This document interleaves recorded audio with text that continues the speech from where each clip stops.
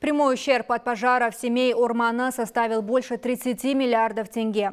Что собираются предпринять в Министерстве экологии и природных ресурсов, чтобы минимизировать риски возгорания? Что собираются делать, чтобы восстановить потерянные участки леса? И как сделают работу лесников более безопасной?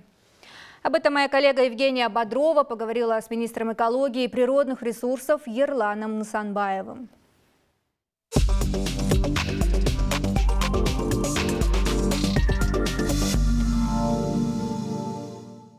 Ирлан Нурлиевич, скажите, пожалуйста, по пожарам в Восточно-Казахстанской области, в Абайской области уже результаты есть?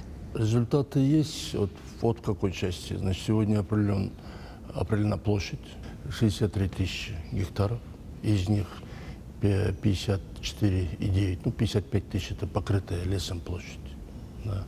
Кроме того, проведены э, исследования или изучение вопроса причины возникновения пожара. Здесь также есть понимание. Значит, э, проведено исследование значит, со стороны МЧС и экспертами. Э, причина очага э, сегодня уже достоверно известна – это грозовой разряд.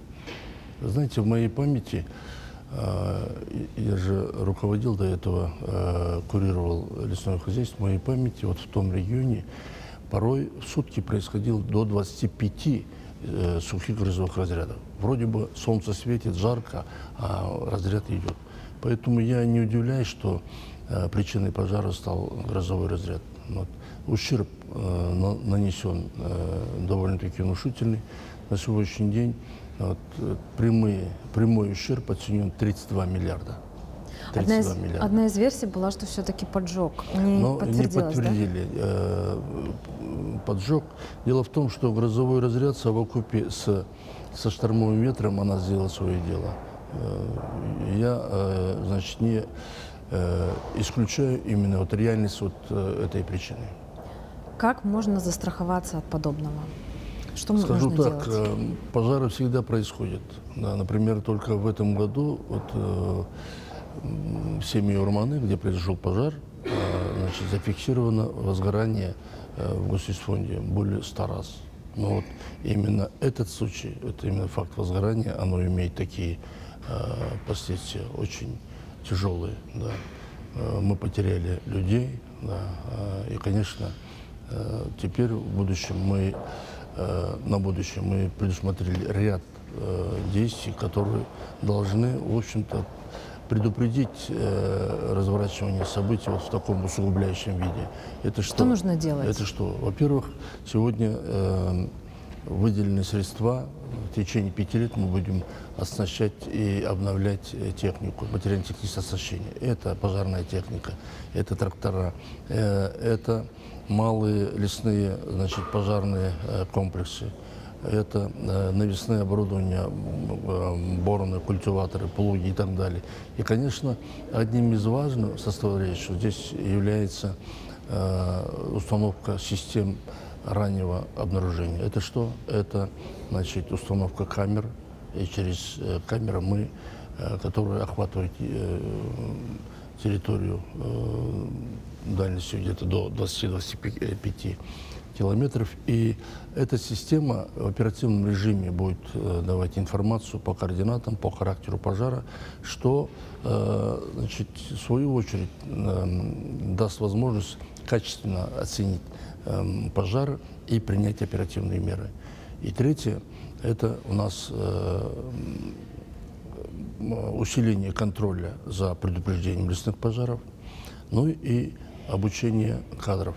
В этой части мы сегодня вместе с МЧС э, разработали проекты программ обучения, которые будут проводиться на базе учебных центров МЧС. Кроме того, мы с МЧС разработали э, план, э, называется он «Алгоритм действий при взаимодействии при тушении пожаров». Данный документ он позволяет нам Э, в короткие сроки соорганизоваться с другими заинтересованными государственными органами и выдвинуться на место пожара.